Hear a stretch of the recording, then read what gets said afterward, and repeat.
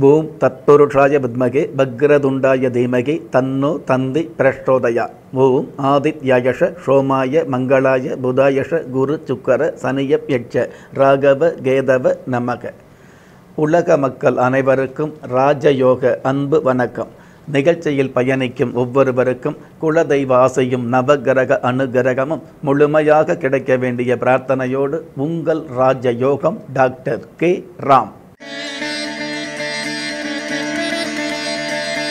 ஏழு ஒன்று இரண்டாயிரத்தி இருபது. விகாரி வருடம் மார்கழி மாதம் இருபத்தி இரண்டாம் தேதி செவ்வாய்க்கிழமையாகிய இன்றைய திதி ஏகாதசி. அதிகாலை இரண்டு மணி ஐம்பத்தி ஓரு நிமிடங்களுக்கு பின்பு துவாதசி. நட்சத்திரம் கிருத்திகை. பிற்பகல் இரண்டு மணி முப்பத்தி எட்டு நிமிடங்களுக்கு பின்பு ரோகிணி. நல்ல நேரம். காலை ஏழு மணி முப்பது நிமிடத்திலிருந்து எட்டு மணி முப்பது நிமிடம் வரை. மாலை நான்கு மணி முப்பது நிமிடத்திலிருந்து ஐந்து மணி முப்பது நிமிடம் வரை. ராகு காலம் மதியம் மூன்று மணியில் இருந்து நான்கு மணி முப்பது நிமிடம் வரை யமகண்டம் காலை ஒன்பது மணியில் இருந்து பத்து மணி முப்பது நிமிடம் வரை குளிகை காலம் மதியம் பன்னிரெண்டு மணியில் இருந்து ஒரு மணி முப்பது நிமிடம் வரை. இன்றைய சந்திராஷ்டம நட்சத்திரங்கள் விசாகம் அனுஷம். வானவியல் சாஸ்திரத்தை உள்ளடக்கிய எண்கணித சாஸ்திரப்படி பிறப்பு எண் ஏழு விதி எண் மூன்று. பஞ்சபூத சாஸ்திரப்படி கீழ் நோக்கு நாளாகிய இன்றைய நாளில் இருபத்தி ஏழு நட்சத்திரங்களை உள்ளடக்கிய பனிரெண்டு ராசிகளுக்கான தினப்பலன்களை பார்க்கலாம். வீரமும் வேகமும் இயல்பாகவே அமையப்பெற்ற மேச ராசியை சார்ந்த பாக்கியவான்களுக்கு வீடும் நிலமும் விசேஷ யோகமும் அமையக்கூடிய அற்புதமான நாள். பாக்கியஸ்தானத்தில் புதன் சூரியன் குரு பகவான் சனி பகவான் சேர்ந்து இருக்கிறதுனால வீரமான செயல்பாடுகளும் விவேகமான முயற்சிகளும் அதிகரிக்கும். நன்மைகள் மிகுந்த இன்றைய நாளில் கோபமே இல்லாதவன் கோடீஸ்வரன் என்பதை புரிந்து கொள்வது நல்லது. ஆன்மீக சாஸ்திரப்படி இன்றைய வழிபாட்டு தெய்வம் ஆதி கும்பேஸ்வரர். அதிஷ்டையன் நான்கு அனுகூலமான வர்ணம் வெண்பட்டு அதிர்ஷ்ட எழுத்துக்கள் என் எம். கலைகளில் ஆர்வமும் கண்களில் வசியமும் இயல்பாகவே அமையப்பெற்ற ரிஷப ராசியை சார்ந்த பாக்கியவான்களுக்கு மோதலால் காதல் உருவாகக்கூடிய குதர்க்கமான நாள். ஜென்ம ராசியிலேயே சந்திர பகவான் உச்சம் பெற்று இருக்கிறதுனால பெண்களுக்கு மன மகிழ்ச்சியும் மன உறுதியும் அதிகரிக்கும். பெண்கள் சார்ந்த அழகு நிலையம் பெற்றிருக்கிறவங்களுக்கு நல்ல வருமானம் கிடைக்கக்கூடிய நன்மையான சூழல் உருவாகும். நன்மைகள் மிகுந்த இன்றைய நாளில் கடமையை செய்தால் வெற்றி. கடமைக்கு செய்தால் தோல்வி என்பதை உணர்ந்து கொள்வது நல்லது. ஆன்மீக சாஸ்திரப்படி இன்றைய வழிபாட்டு தெய்வம் சுவேத விநாயகர். அதிர்ஷ்ட ஆறு அனுகூலமான வர்ணம் இந்திர நீளம் அதிர்ஷ்ட எழுத்துக்கள் ஓ டபிள்யூ. இனிமையான பேச்சும் இதயத்தில் உறுதியும் இயல்பாகவே அமையப்பெற்ற மிதுன ராசியை சார்ந்த பாக்கியவான்களுக்கு பை நிறைய லாபமும் பணம் காசு சேர்க்கையும் ஏற்படக்கூடிய ஏற்றமான நாள். ஜென்ம ராசி அதிபதி புதன் பகவான் ஏழாம் இடத்தில் இருக்கிறதுனால திருமண வயதில் உள்ளவர்களுக்கு திருமணம் நிச்சயமாகும். திருமணமான தம்பதிகளுக்கு புத்தர பேர் உருவாகும். அற்புதம் நிறைந்த இன்றைய நாளில் எண்ணம் போல வாழ்க்கை என்பதில் திண்ணம் கொள்வது நல்லது. ஆன்மீக சாஸ்திரப்படி இன்றைய வழிபாட்டு தெய்வம் நெய் நந்தீஸ்வரர். அதிர்ஷ்ட ஒன்று அனுகூலமான வர்ணம் இளம் சிவப்பு அதிர்ஷ்ட எழுத்துக்கள் ஒய் ஐ. உருகும் உள்ளமும் கழுகு பார்வையும் இயல்பாகவே அமையப்பெற்ற கடக ராசியை சார்ந்த பாக்கியவான்களுக்கு வீட்டு தேவைகள் பூர்த்தியாகி கேட்ட உதவிகள் கிடைக்கக்கூடிய யதார்த்தமான நாள். சப்தமஸ்தானத்தில் சுக்கர பகவான் இருக்கிறதுனால அனைத்து நிலையில் உள்ளவர்களும் சத்தமில்லாத வெற்றிகளை மொத்தமாக சந்திக்க முடியும். அற்புதம் நிறைந்த இன்றைய நாளில் செய்கிற வேளையில் கவனமாகவும் ஒரு சில நேரங்களில் மௌனமாகவும் இருப்பது நல்லது. ஆன்மீக சாஸ்திரப்படி இன்றைய வழிபாட்டு தெய்வம் ஷண்முகநாதர் அதிர்ஷ்ட ஆறு அனுகூலமான வர்ணம் இளம் ஊதா அதிர்ஷ்ட எழுத்துக்கள் இ என். மரபுகளையும் உறவுகளையும் மனதார நேசிக்க தெரிந்த சிம்ம ராசியை சார்ந்த பாக்கியவான்களுக்கு ஆரோக்கிய பொழிவும் அடி மனதில் தெளிவும் ஏற்படக்கூடிய அற்புதமான நாள். சத்துருஸ்தானத்தில் சுக்கர பகவான் இருக்கிறதுனால பெண்கள் மூலமாக ஏற்பட்ட எதிர்ப்புகள் தானாக விலகும். வீண் வம்பு வழக்குகளிலிருந்து விடுபடக்கூடிய பாக்கியங்களும் உருவாகும். அற்புதம் நிறைந்த இன்றைய நாளில் தோல்விக்கு பல வழிகள் இருந்தாலும் வெற்றிக்கு ஒரே வழி உழைப்பு என்பதை உணர்ந்து கொள்வது நல்லது. ஆன்மீக சாஸ்திரப்படி இன்றைய வழிபாட்டு தெய்வம் ஆறுபடை முருகப்பெருமான். அதிர்ஷ்ட ஒன்று அனுகூலமான வர்ணம் சில்வர் கிரே அதிர்ஷ்ட எழுத்துக்கள் பி யு.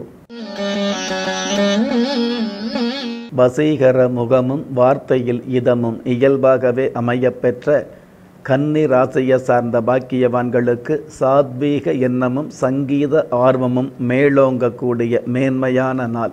தைரியஸ்தானத்தில் தைரிய ஸ்தானாதிபதி செவ்வாய் பகவான் ஆட்சி பெற்று இருக்கிறதுனால தைரியமான செயல்பாடுகளால் தனவரவு அதிகரிக்கும். வீரியமான செயல்பாடுகளால் வெற்றி வாய்ப்பு உருவாகும்.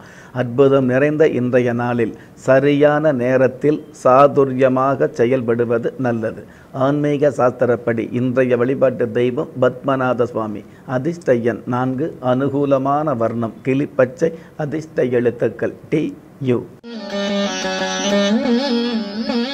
நேர்மையை நேசிக்கக்கூடிய கியவான்களுக்கு வலிமையான வாய்ப்புகள் பெருமையாக கிடைக்கக்கூடிய அருமையான நாள்.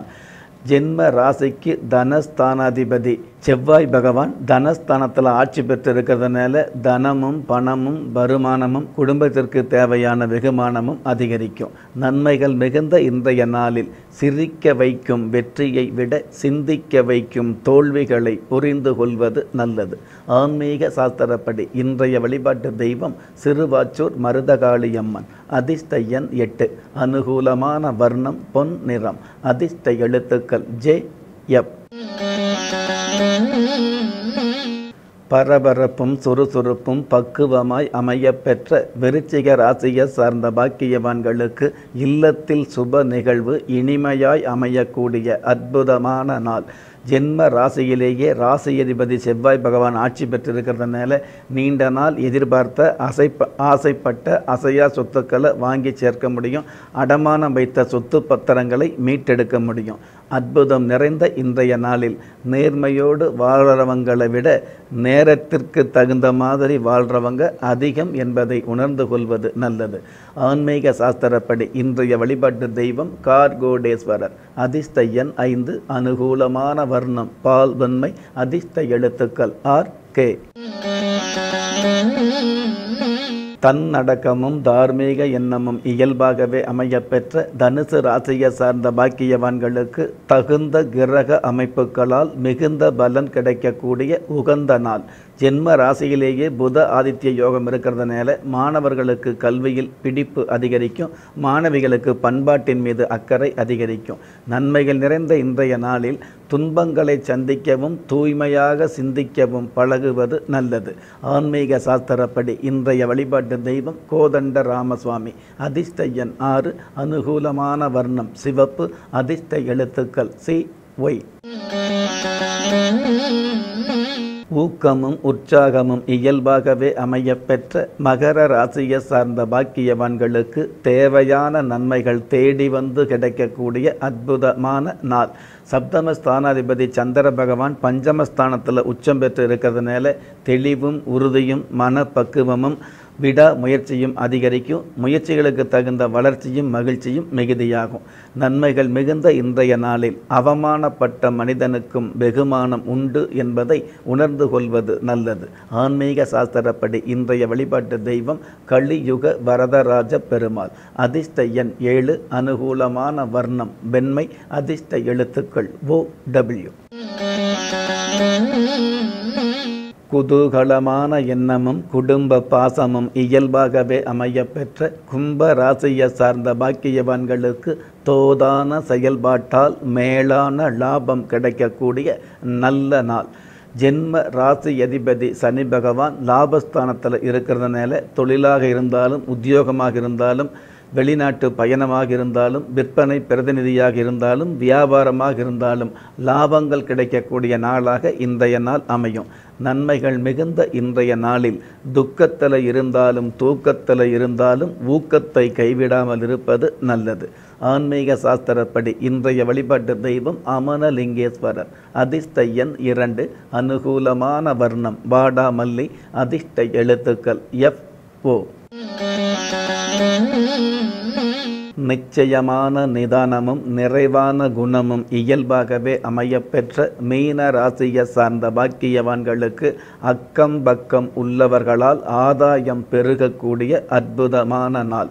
தைரிய வீரிய ஸ்தானத்தில் பஞ்சமாதிபதி சந்திர பகவான் உச்சம் பெற்று இருக்கிறதுனால தைரியமும் வீரியமும் தன லாபமும் வெகுமானமும் அதே சமயத்தில் குடும்பத்திற்கு தேவையான தன லாபமும் அதிகரிக்கும். அற்புதம் நிறைந்த இன்றைய நாளில். வெற்றி எளிதானதல்ல தோல்வி என்பது நிலையானதும் அல்ல என்பதை உணர்ந்து கொள்வது நல்லது. ஆன்மீக சாஸ்திரப்படி இன்றைய வழிபாட்டு தெய்வம் கோயமுத்தூர் கோணியம்மன். அதிர்ஷ்ட எண் எட்டு அனுகூலமான வர்ணம். ஊதா அதிர்ஷ்ட எழுத்துக்கள். S A.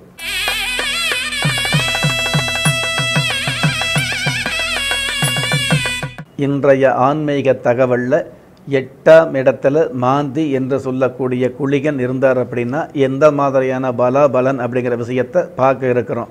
பொதுவாகவே லக்னத்திலிருந்து எண்ணி வரக்கூடிய எட்டாம் இடம் அஷ்டமஸ்தானம் என்று சொல்லக்கூடிய இந்த எட்டாம் இடம் ஆணாக இருந்தால் அவருக்கு வந்து புதையல் ஸ்தானமாகவும் ஆயுள் ஸ்தானமாகவும் சாஸ்திரத்தால் கொடுக்கப்பட்டிருக்குது.